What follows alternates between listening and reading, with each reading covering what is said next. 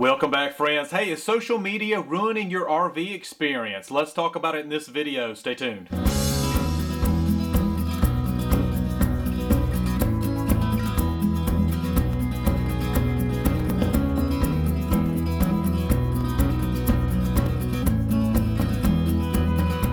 Okay friends, the goal of this video is for it to be a discussion video, so get down in the comment section and let us know what your thoughts are. Is social media ruining the RV experience? I'm going to give you a couple of things that concern me regarding RVing and social media. Let's get started. So I think we kind of have a unique perspective here being a medium-sized RV channel. We see hundreds of comments, uh, whether it be YouTube, Facebook, Instagram, and a common theme that I see that concerns me a little bit is the malcontent in one's current situation.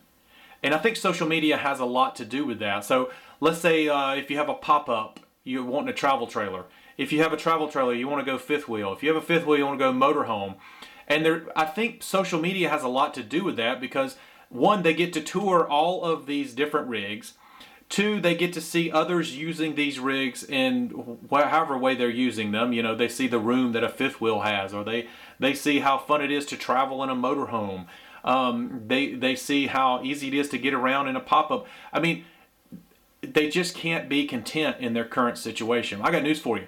If you go buy that fifth wheel, you're probably going to want a bigger fifth wheel. If you go buy that bigger fifth wheel, you're probably going to want a motorhome. If you go buy that motorhome, you're going to want a tag axle motorhome.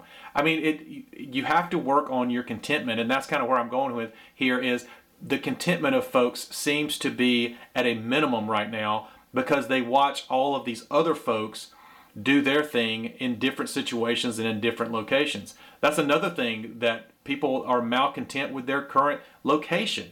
They see all these folks going to Alaska and out west or up to Michigan and Maine, and all these other great places, and they're discontent with their current location. We're in Georgia. I love camping in Georgia.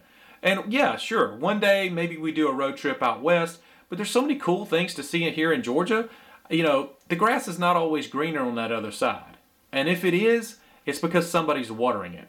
So we've kind of made the decision to water our own grass, nurture our own situation, and hopefully you'll do that too. All right, here's another situation where I think social media might be ruining your RV experience, and that is problems. You see everyone's RV problems.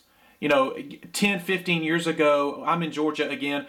Who, how would I've ever known somebody in Oregon or, or Kansas or Maine would have been having issues with their RV? I wouldn't have known. You know, ignorance is bliss sometimes. And the fact of the matter is, most RVs don't have major problems. They have nitpicking stuff here and there, but the vast majority don't have problems. The RV dealers just, or RV manufacturers just wouldn't stay in business if all of them had issues. But if you go to some Facebook groups, if you go to, you know, if you if you look over YouTube and Instagram, you'll you can find all the problems you want. And that's because this thing is not only nationwide, but worldwide. Social media is worldwide. And so 10, 15 years ago, I would have never known somebody in Oregon was having an issue with their travel trailer.